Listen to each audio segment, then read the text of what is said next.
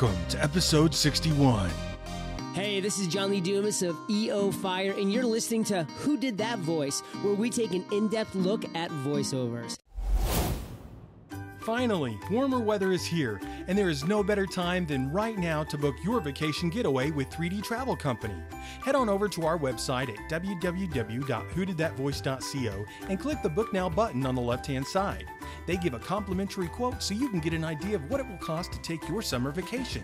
For a limited time, Who Did That Voice listeners can receive a Disney gift card for qualifying Disney and Universal trips, booked and traveled by the end of 2017.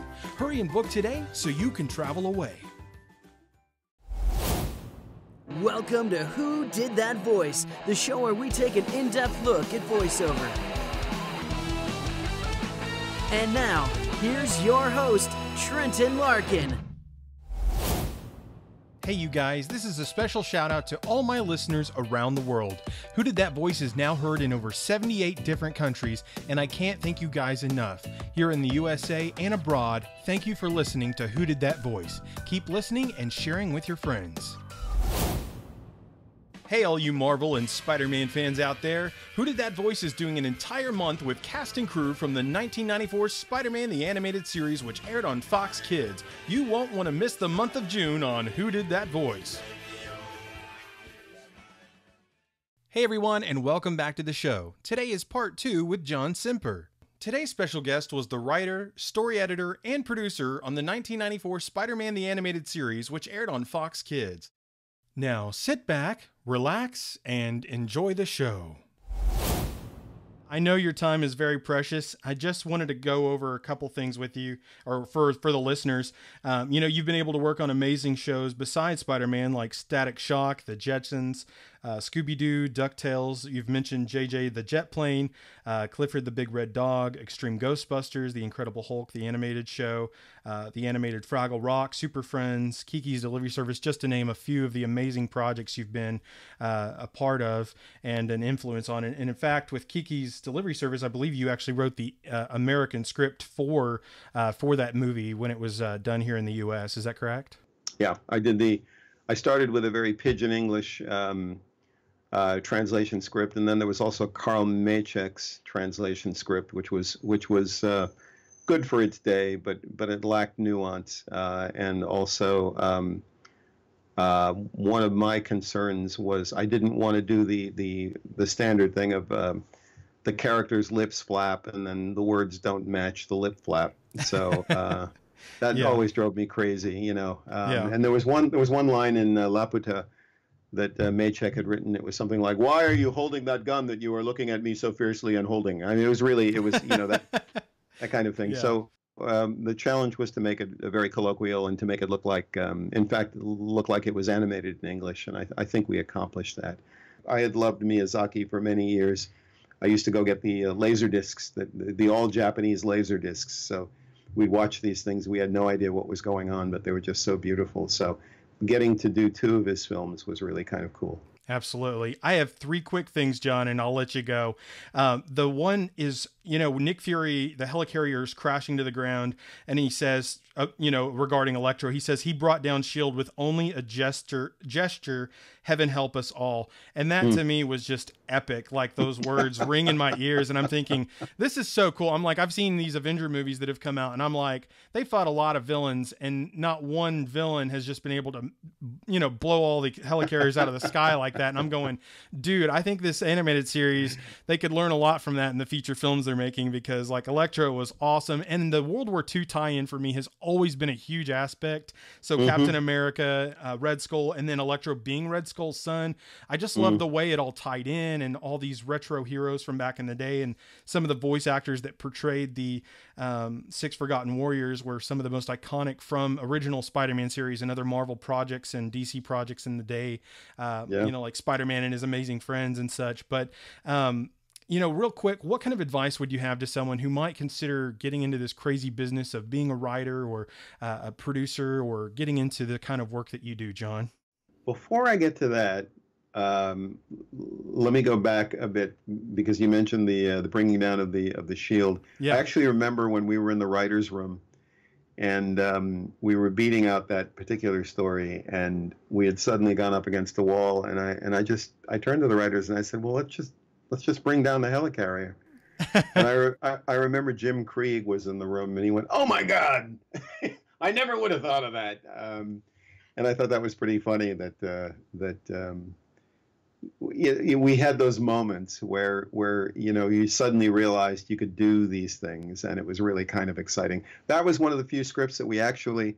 I didn't normally beat out stories in a room full of writers. I, I can't think of anything more annoying, quite frankly. Um, but um, that was one where we actually did like a traditional writers' room, and everybody got together, and we all just kind of worked on it, and it worked out really well. You mentioned earlier the um, the Spider-Man and his robot. Yeah. There were two two episodes, and and in one episode, somebody made mention of the Spider-Man having a robot, and that was actually that alluded to the uh, Japanese Spider-Man series, which I had seen one or two episodes of. Okay. Um, and he had had a giant robot and somebody said that as a joke. Somebody said, "Wouldn't it be cool if, if you know, if the if the rich Spider-Man had a giant robot? Let's just throw that in." and then they went off and wrote that script. And then when it came time to do the the sequel, I thought, you know, or the second part, I thought, well, let's just show the giant robot.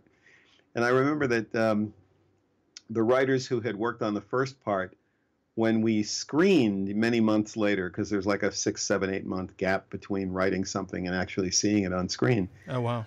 Uh, and it's a long time. And so um, I invited them all over when we watched those final episodes. They were all over at my house, and um, on came the robot. And I remember that the writers who had worked on the first part, they weren't aware of the fact that we had actually animated the robot. Oh wow, that's awesome. and they were like, "Oh my God, there's the robot! We didn't know you had done it," you know. and uh, I I loved moments like that. Um, yeah.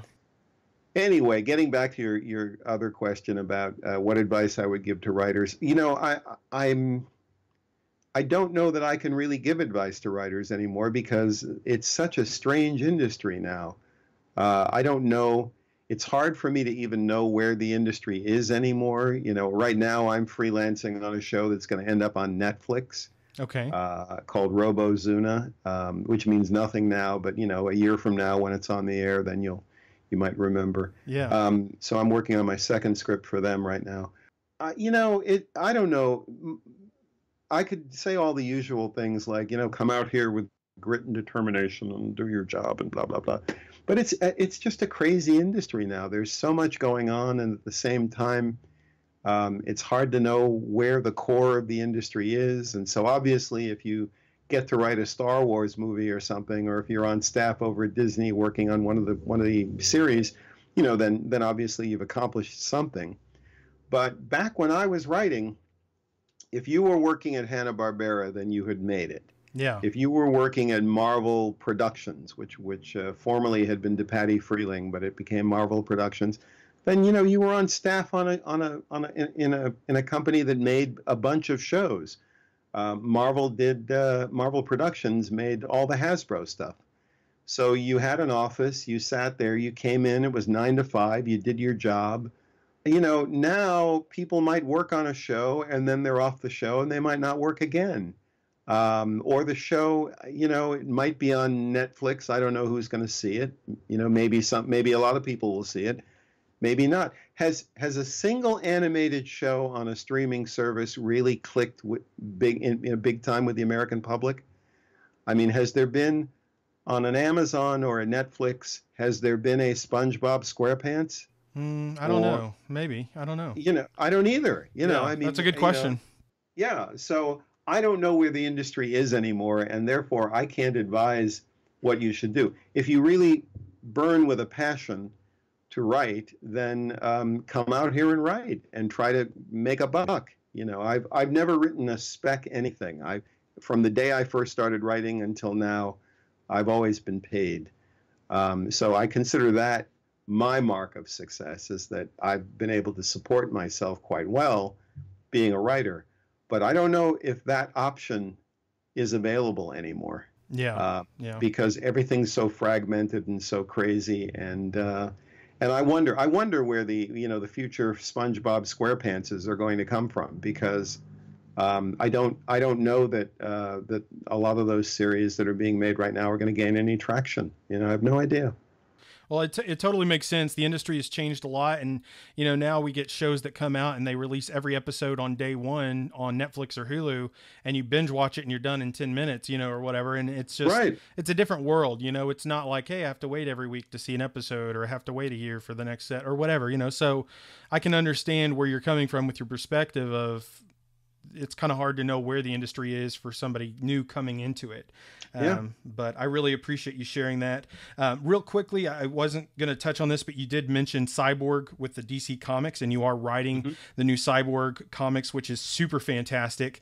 Um, I know Thank for you. you. that has to be amazing to be a part of another wonderful franchise that you grew up loving, DC Comics, um, and to be a part of that writing Cyborg Victor Vic Stone, which he's a super cool character, and I think he's really come into his own in the years uh, since his creation. And uh, for you to be able to be a part of that, I know that you're breathing life into this character that's going to have long lasting effects. Well, yeah, thank you. Um, and you know, thanks for mentioning it. Uh, Cyborg is being a lot of fun. Uh, I did start out originally reading DC comics, so during all of my childhood up until I became a teenager, it was all DC. Yeah. Uh, and um, Cyborg is is uh, is a fun character to be writing right now because he's about to be in the big Justice League movie, which I'm sure they're hoping is going to be a blockbuster. Absolutely. So I'm once again handling a very important property. I've been so lucky in my life because um, I have not I have not labored in obscurity. I have always worked with major major properties. I've worked for really major guys like Jim Henson and George Lucas and uh, Stan Lee it's fun to be at, the forefront. You know, it's it's when there, I, I went through a long period where I really wasn't doing anything because I didn't want to. I had kind of burned out. Yeah. And you'd walk the floors of, of the San Diego Comic Con and you'd think, my God, there's so much stuff being generated right now. Yeah. How can any of this stand out? And um, and now once again, I'm handling a character that is that is a standout character because of a it being DC and then B this giant movie that's coming out. So you yeah. know I'm in the I'm in the room with all the guys that are the real movers and shakers of of this uh, of, of the zeitgeist right now, and yeah. I'm I'm very lucky. I've been here before. I don't know how many more times I'll get to be here again, but I'm here again right now, and I'm very uh, I'm very thankful. It's fun to be to be at the forefront of uh, of all of this craziness. Absolutely, John. Thank you so much for diving into that a little bit. It's super amazing that you've been a part of it, and I just wanted to touch on it.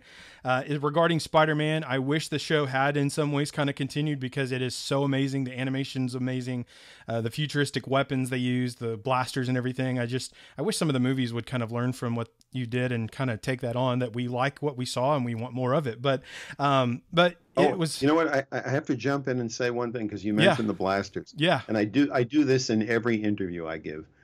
We did not have so much censorship on Spider-Man the animated series. There's there's a myth that has cropped up around the series, and uh, and I I'm probably the one that started it because um, I used to go to uh, conventions back in the early days, back before the internet. I would go to conventions and and for comedy relief, I would read some of the broadcast standards and practices notes that we would get.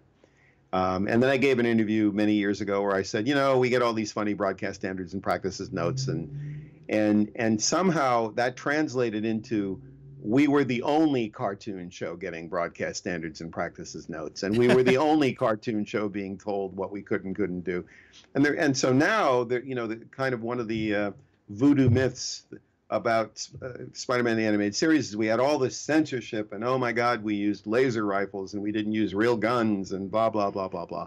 Well, the reality is uh, laser rifles rifles are cooler than real guns, and we Absolutely. did do an we did do an episode that had a real gun, which was the one where R- Robbie Robertson's son Randy got a hold of a real gun, his service gun, uh, service weapon.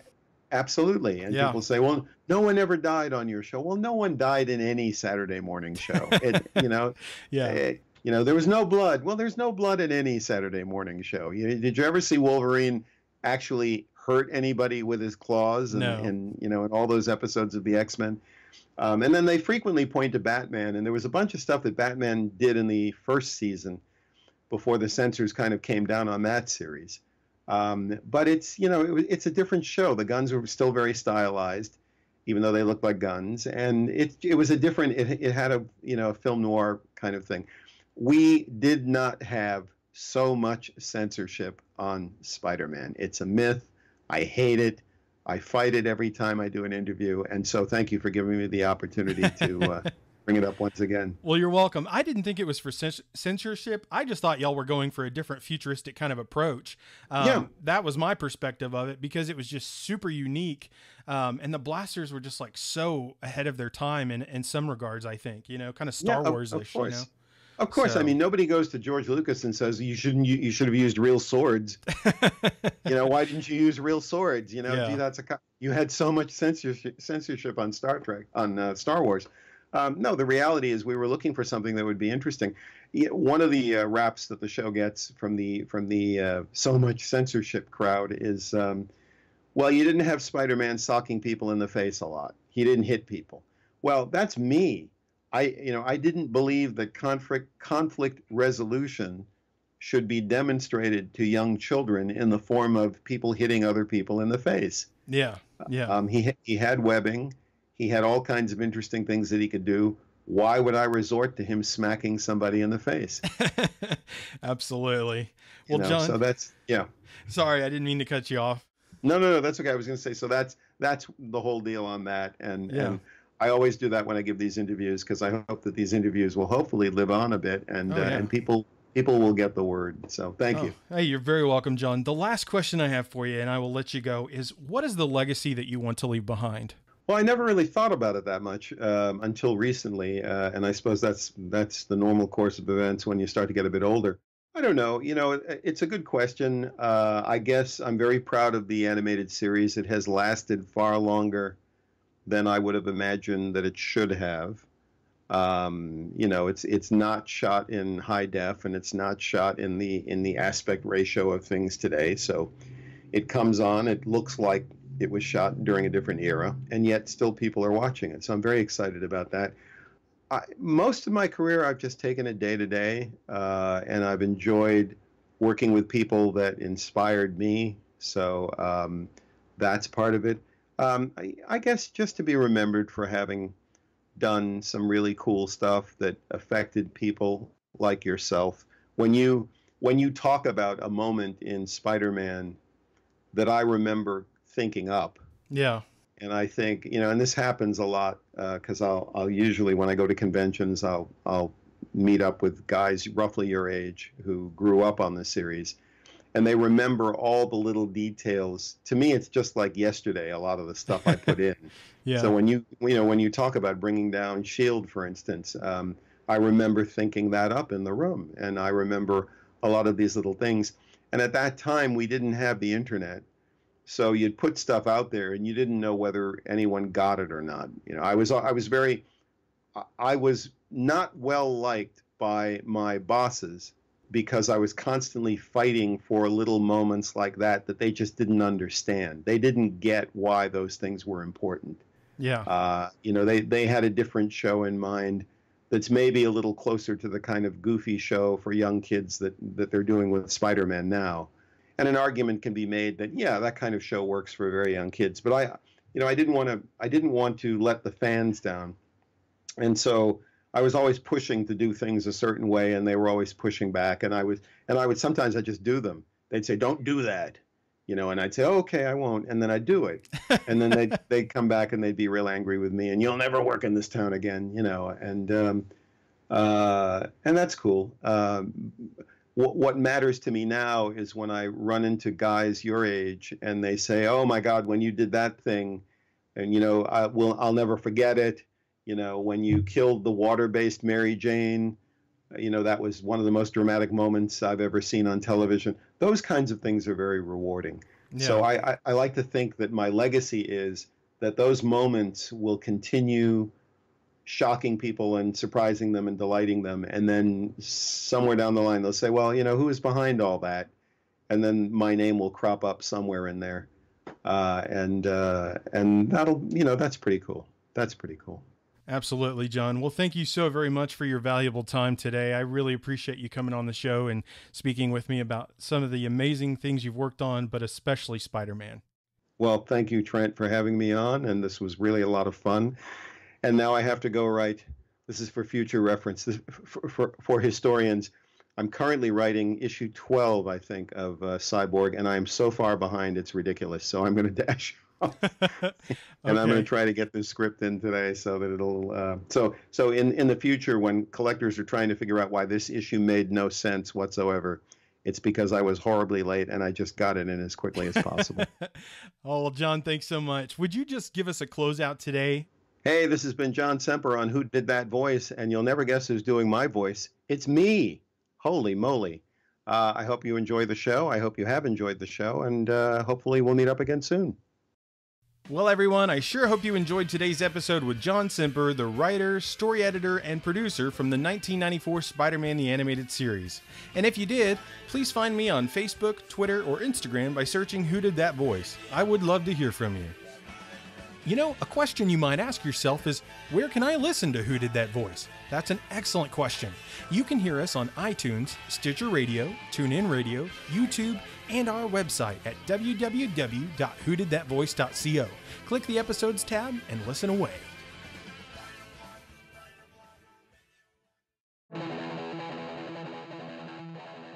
Well, everyone, that's all the time we have for this episode. Join us this Friday for our next special guest, Sara Ballantine, the voice of Mary Jane Watson from the 1994 Spider Man the Animated Series. You won't want to miss this episode. Hey, do you ask yourself who did that voice? Well, if you do, go to our website, www.whodidthatvoice.co, and click on the Episodes tab. Choose an actor, pick their name, and see pictures from the different characters they've voiced in their career. Thank you for joining us today. We'll see you next time for more discoveries on Who Did That Voice.